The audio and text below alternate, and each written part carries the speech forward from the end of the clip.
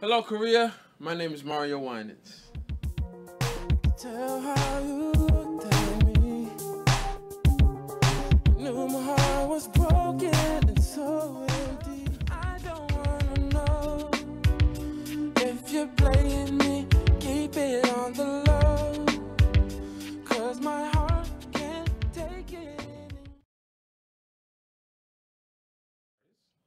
Working with Eyedi was a great experience, man. It was my first time collaborating with an Asian artist. Um, it was very enjoyable. I liked the song, um, and we got it done, man. But it was definitely a great experience, and I, I would definitely be open to doing it again.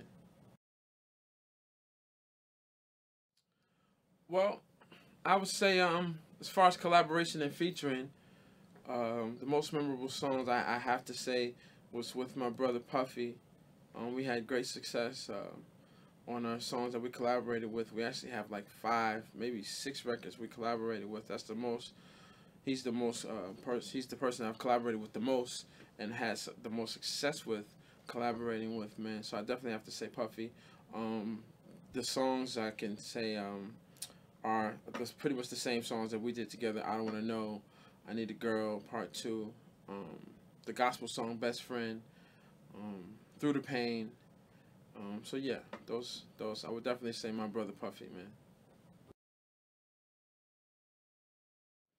Well, as an artist, I would recommend a song called um, Three Days Ago that was on my Hurt No More album. A song called Don't Know that was on my first album that came out on Motown in the '90s. Um, but then, as far as some of my production, um, I'm sure 112 Peaches and Cream made it over there, or even uh, Trey Songz Can't Be Friends, which was um, 16 weeks of number one that I produced um, last night with Puff and Keyshia Cole, or Beyonce Summertime, just to name a few of them.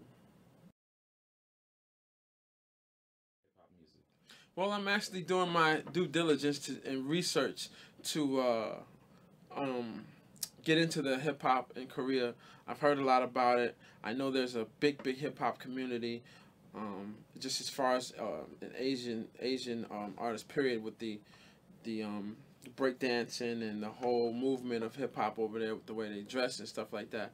So, um, but you know, I have yet to get that deeply involved in it, but I look forward to to getting involved with it in the very near future.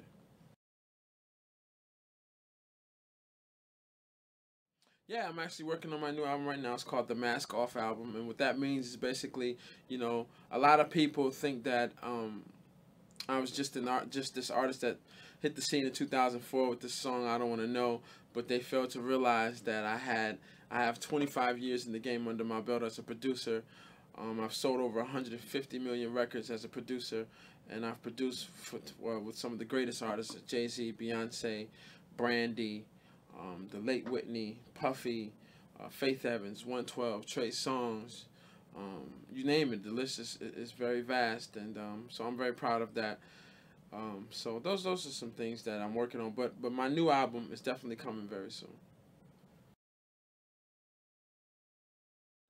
Absolutely, I'm actually planning on doing um, just a, a massive, a ma- making a massive impression in Korea and um, just in the Asian market because I haven't really done that as of yet. I wanted to I wanted it to be correct when I went and did some things. So from production to some of the artists over there, some of the biggest artists as well as up and coming artists, and um, a slew of shows. So I, I definitely plan to do that very soon.